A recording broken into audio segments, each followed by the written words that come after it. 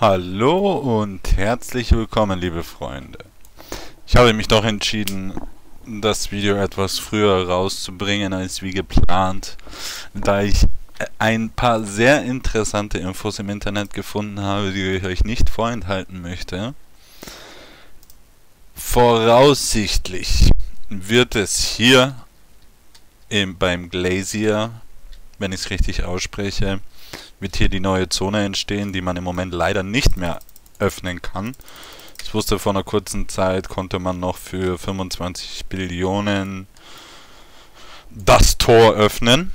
Ist im Moment leider nicht möglich. Das soll die neue Währung sein. Also es wird keine Fantasy Coins mehr geben, keine normalen Coins. Also geben wird es sie schon noch, aber ihr werdet sie nicht mehr brauchen.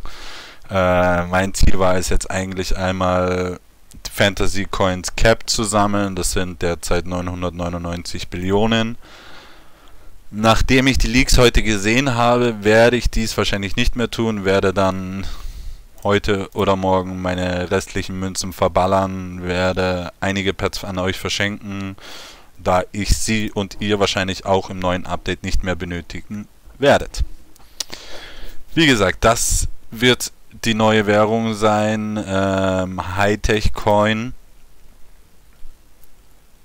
Und hier, ah, da sieht man sogar schon ein Bild davon. Und da hinten steht auch schon wieder eine Kanone und ich denke mal, da wird man dann ins nächste Gebiet reinkommen können. So sollen die neuen Eier aussehen. Ich habe auch heute schon ein paar Bilder zu den Pads gesehen, beziehungsweise zu der ersten Variante, so glaube ich, wie ich weiß. Sehen nett aus.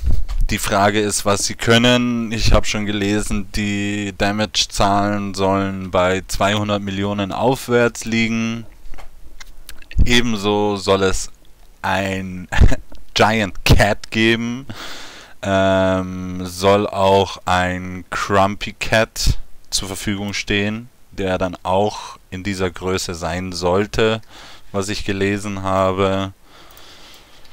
Naja, ich finde das sehr schade. Jetzt sind wir so weit gekommen im neuen Update und das neue steht schon wieder kurz bevor, aber Mai, so ist es eben.